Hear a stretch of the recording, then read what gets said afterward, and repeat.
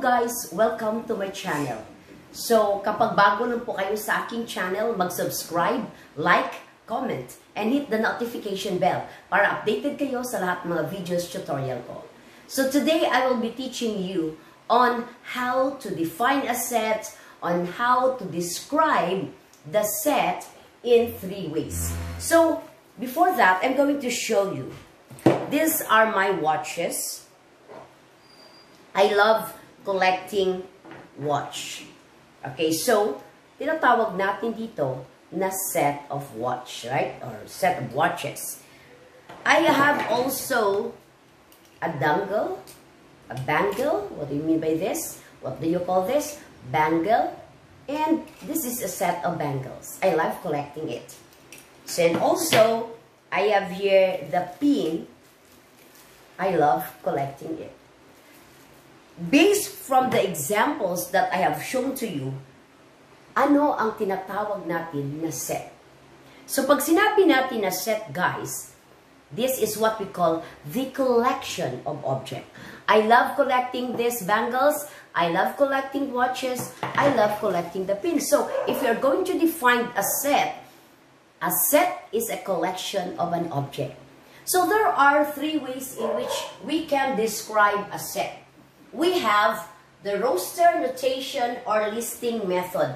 Ano po ba itong roster notation or listing method? You are going only to list down the sets. It means to say, if I will be giving you an example, kapag nag-name kayo ng set, you have to use the capital letter. So that's the reason why set A, set B, set C. So use the big letter. While the small letter we are using that in an element. So, this is what we call set A, set B, and set C. And what do you call these objects inside the this one, this symbol? These are what we call the elements. Okay, so now, three ways of describing a set. Number one is what we call roster notation or listing method. So set A, we have 1, 2, 3, and 4. And then set B, 5, 10, 15, 20, and so on. So we call that and so on, tatlong dot, we call that ellipsis.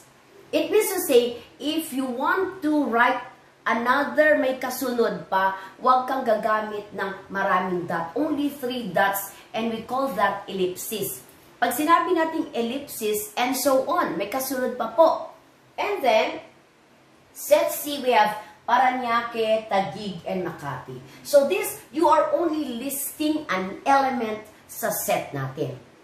But how about number two, the verbal description method? Based from your set A, set B, and set C in your listing method, you need to describe. The word description, it's what we call describe. The root word there is describe. To say, kung ano man po ang nakalagay dito sa set A, set B, and set C in your listing method, you are going to describe. Okay, so let us describe the set A. 1, 2, 3, and 4. Anong tawag doon? So when you are going to describe, you have to mention set A. Kung ano man po ang nilagay mong letter that represents the set, then set A is the set of counting numbers. It means to say, 1, 2, 3, and 4 is what we call the counting numbers. Or, another way of saying it. Ma'am, pwede po bang another way of saying it? You can also describe set A is the set of counting numbers less than 5. Less than 5 ba ang 4, 3, 2, 1? Then you can also say it. So if you want to complete your sentence, set A is the set of counting numbers less than 5. Or you can also say like that. Okay, how about set B? Set B, 5, 10, 15, and 20. And so on. It means to say, may kasunod pa. So when you're going to describe it, set B is the set of positive numbers, multiples of 5. Why multiples of 5? Because 5. What is the next number? 10. So, ang gap niya or ang kanyang difference is 5. 5 plus 5, 10 plus 5, 15 plus 5, 20 plus 5, and so on. Okay? Set C is the set of cities in Met Metro Manila. So, Paranaque, Taguig, Makati, these are the cities in Metro Manila. So, this is what we call verbal description method. Describe the set stated in number one in listing method. And number three is what do you call the set builder notation. The set builder notation, guys, is this method that lists the rule the object is an element of a set. It means to say, kung ano man po ang nakalagay na element dito sa set na ito, okay? That list, ibig, ibig sabihin, kung ano man po ang nakalagay na object dito sa set. So, we are going to use this. Okay, now, for number one, based from the roster notation or listing method, verbal description, then we are going to use the set builder notation. How are you going to read it? Set A, and then this symbol, X. This one is such that X is the set of counting numbers less than 5. Is it true that we have written here 1, 2, 3, 4, are they the set of counting numbers less than 5? So, tama po, less than 5. How about B? X such that X is a positive numbers, multiples of 5. Are they multiples of 5? Are they positive? Then tama po yun.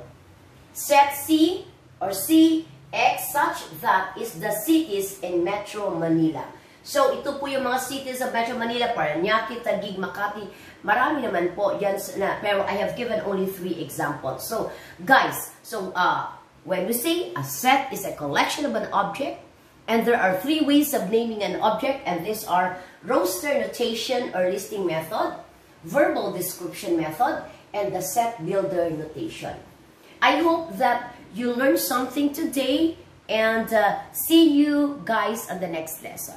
Have a great day, everyone.